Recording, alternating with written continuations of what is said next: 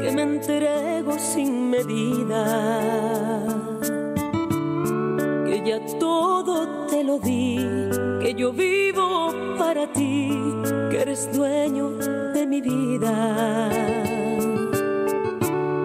que me estoy haciendo daño, que el amor así es enfermo que por quererte así y estar pendiente de ti por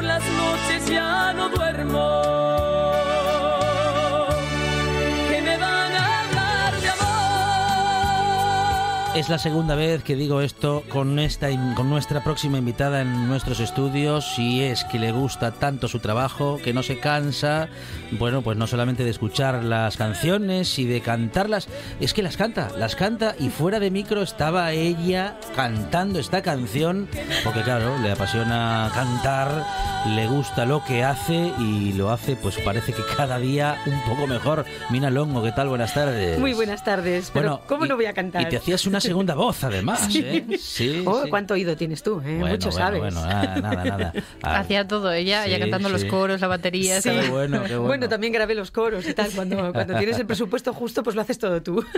Bueno, y cuando tienes una voz lo suficientemente versátil como para que también se pueda hacer todo eso. Bueno, pues sí, la verdad es que me encanta cantar y bueno, de hecho, si cumplo 40 años en la música es porque, porque sigo en ello y eso significa que te tiene que gustar a la fuerza. Mm, mm, mm. Eh, bueno, Porque to- hoy sí, hablamos sí. de ello, de que el próximo 23 de abril a las 8 de la tarde vas a ofrecer un concierto en el Teatro Prendes de Candás para celebrar precisamente los 40 aniversarios de tu, de tu trayectoria musical. 40 primaveras es este espectáculo. Sí, sí, la verdad es que se cumplieron 40 años en noviembre, pero debido a la pandemia y demás, pues se tuvo que posponer un poquito. Y bueno, pues decidí hacerlo en primavera y llamar al espectáculo 40 primaveras. Me pareció algo muy bonito y bueno, un título como muy original y muy bien. La verdad que estoy muy, muy contenta por, por todo, porque entre otras cosas eh, tengo colaboraciones muy, muy especiales. Como sabréis, está, está conmigo mi queridísimo amigo Nando Agüeros, que no ha querido faltar Oh, qué bueno. a mi, a mi 40 aniversario. Eh, también está mi gran amiga Anabel Santiago, una gran Oh, artista. guau. Eh, también tenemos a Pipo Prendes. Y Qué luego está. Pipo, muy hombre, bien. y está el Mariachi Hispanoamérica también Mm, conmigo. mm. Alguna sorpresilla que me voy a guardar Vale, unas vale, debajo vale. de la manga. Muy bien, muy bien. Banda en directo con cuatro musicazos. Ah, qué bien. No, la verdad es que estoy muy contenta con el resultado, pero a la vez triste. ¿Qué os parece? ¿Triste, Triste por, por- qué? ¿Por qué? Pues estoy triste porque me da mucha pena que se hayan terminado las entradas en ocho días. Ya, ya, es verdad. Porque tengo muchísimos mensajes de Mm. personas que me están diciendo, pero ¿cómo es posible? Yo estaba decidiendo si íbamos cuatro, si íbamos seis y de repente veo el cartel de entradas agotadas. No puede ser, Mina. ¿En serio? Y digo, sí, es en serio. Así que no, no hay posibilidad de, de que entren más personas, es una pena. Pero bueno, y todavía quedan más de 15 días, o sea que... uf. Pero bueno, una, una, una pena por toda la gente que no va a poder acudir a, a este, Sí. a este concierto, pero también por otro lado, alegría, ¿no? De, de ver cómo te lo han reconocido todos estos años de, de trayectoria. Sí, Lucía, a ver, te, te explico. Por eso decía lo de alegre y triste a la vez, porque estoy muy contenta de que se hayan agotado las entradas, estoy muy contenta del resultado, de, de ver cómo todas las personas que, que me siguen están ahí siempre y siguen ahí y que agradecen todo lo que hago y eso para mí es un orgullo, pero, pero sí es verdad que a la vez tengo esa cosita ahí de que qué pena que no sea más grande. Claro, porque 40 años son, son unos cuantos los que ya los que te ibas dedicando a, bueno, a tu pasión y a tu profesión como es la, la música. Y mm, es muy difícil, pero ¿podrías hacer un, un balance de estos 40 años? De lo que ha significado para ti dedicarte a la música tanto tiempo. Bueno, para mí es que es lo que me hace estar como estoy y vivir. Es que la música para mí es mi vida.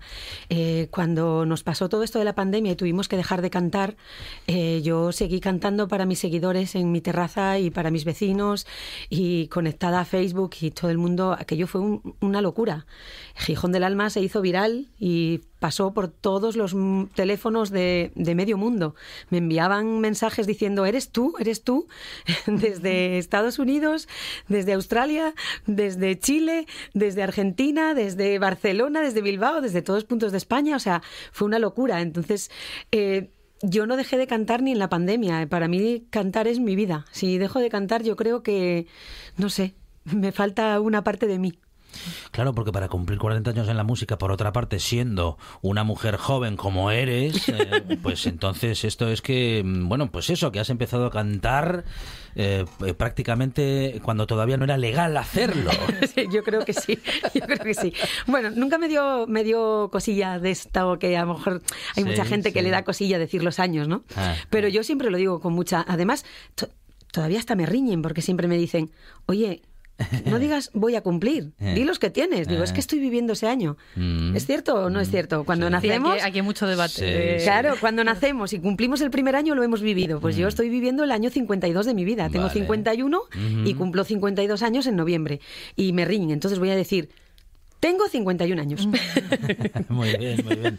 Sí, yo conozco más gente que tiene esa costumbre de, vamos a decir, yo para mí es como añadirse un año pero claro, es el año que se está viviendo, efectivamente, sí. Sí, yo la verdad es que cuando me fui a, a poner la primera vacuna, eh, me pusieron algo así como 50 años y 7 meses. Ajá. Y yo digo, ¿ves cómo tengo 50 años y 7 meses? Eh, bueno, decías que si no que no entenderías la vida sin, sin la música o bueno, incluso la vida sin, sin cantar. Claro, eh, luego no cabe la pregunta ¿qué haría Minalongo eh, si, si, si, no, si no cantara? Siempre lo he dicho y, es una cosa que, que, siempre haría, en serio. Eh, me dedicaría a la docencia. Yo siempre me ha gustado, siempre me han gustado mucho los niños, me encantan. somos diez hermanos, soy la segunda mayor, siempre he estado con niños pequeños, tengo 16 sobrinos y siempre me han gustado mucho los niños y sí que me gustaría el tema de enseñanzas y me apasiona. Pero bueno, no no he llegado a hacerlo porque la música para mí era primordial. Y como empecé tan pequeñita, pues ya no me dio tiempo a todo. Bueno, pero si te gustan los niños, a lo mejor no ser profesora es una buena manera de que te sigan gustando. puede ser. vamos a dejarlo en puede ser. Sí, sí, sí. Eh, Mina, abrirse camino en, la música siempre se ha dicho que es, bueno, es, es muy difícil, es, supone esfuerzo y sacrificio por mucho que sea algo que, te guste y que, te apasione. Y mm, tú reivindicas mucho la, importancia de, dar voz a los artistas y a las artistas asturianas y, asturianos, todo el talento que tenemos aquí en, Asturias. ¿Cómo, ¿Cómo ves que muchas veces seguimos teniendo, aquí lo hemos comentado varias veces, que muchas veces seguimos teniendo la cabeza que parece que si te vas a un Madrid o un Barcelona, tu trabajo es más válido que si estás en otras comunidades más alejadas ¿no? del foco, muchas veces mediático? Bueno, es muy complicado el tema. La verdad es que me haces una pregunta bastante. ¿eh? Mira, mira, Lucía, yo vengo, aquí para picar. ¿Cómo, me, meten berenjenales? ¿eh? no, es muy, mira, es muy difícil y a la vez es muy, muy sencilla de, de contestar. Yo, pues por circunstancias de mi vida, he pasado muchas, muchas, muchos, muchos años fuera He estado en México, he estado fuera de, he estado por, por, diferentes zonas de Europa, por diferentes zonas de, de, España. Y cuando llegué aquí hace poquito tiempo, incluso en la pandemia, casi se me conocía poco en, en Asturias, ¿no?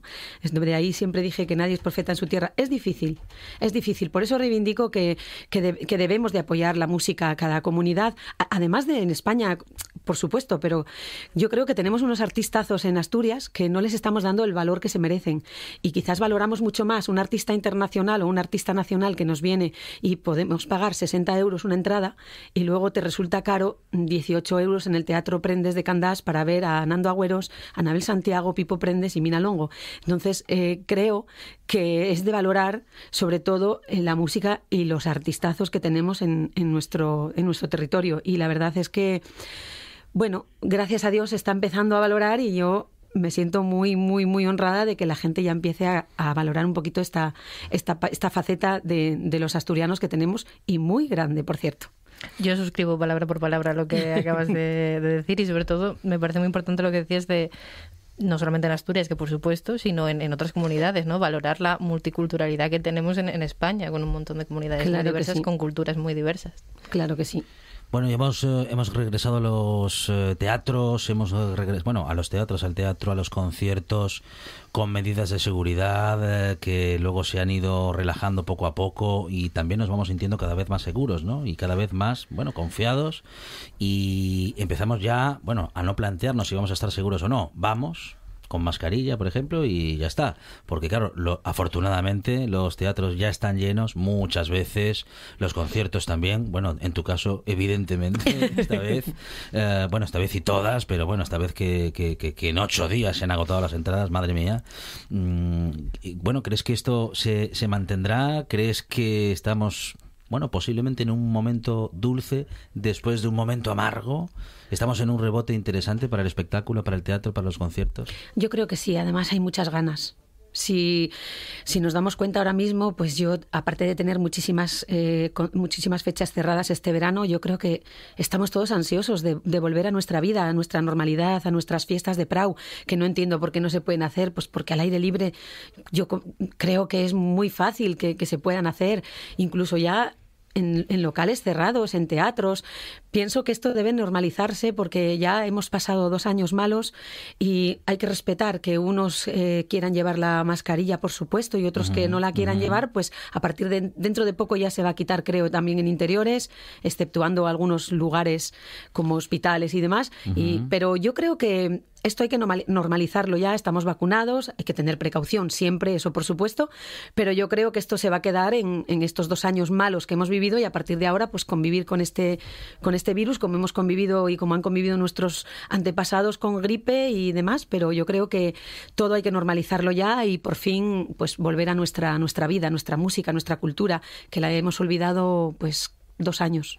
¿Cómo cuida su voz, Mina Longo? Pues de ninguna manera, porque hablo por los codos. Eh, sí, bueno, a ver, eh, claro que la cuido. Yo no, no, procuro no tomar cosas frías, no fumo, no bebo alcohol, eh, bebo agua, me cuido, más o menos lo que es la... Pero bueno, hablar que dicen que el, que el cantante no debe hablar y el ¿Ah, que habla no debe cantar. Ah, sí. Sí, eso dicen. No digas. Sí, sí. A mí me lo ha dicho mi foniatra, me dice, los cantantes no deben de hablar y los, y los locutores no deben cantar. Ajá. Bueno, que, Los, locutores no deben cantarlo. Pero por más motivos. Lo hemos más de una vez en esta buena tarde, pero vamos, que es por cuidar al oyente más que por cuidar nuestra voz, la voz. En todo caso. Mira, Longo eh, tiene concierto. No podemos decir va, vaya usted a sacar las entradas rápidamente porque no quedan. No quedan. Y fijaros que hace cinco días, seis, que bueno, ocho que salieron a la venta, pero claro, hay que estar atentos al próximo concierto de Mira Longo a este, que va a tener muchas sorpresas y del que seguro hablaremos en esta buena tarde, y a los próximos, para poder seguir celebrando con ella durante todo este año sus 40 años con la música Mina. Muchísimas gracias. Gracias a vosotros, como siempre. Y que vaya todo muy bien. Gracias. La voz en la noche en Asturias.